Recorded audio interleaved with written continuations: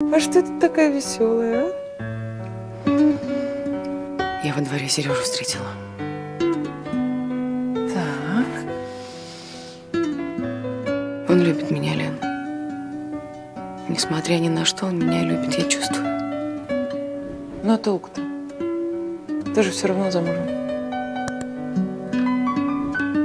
И что?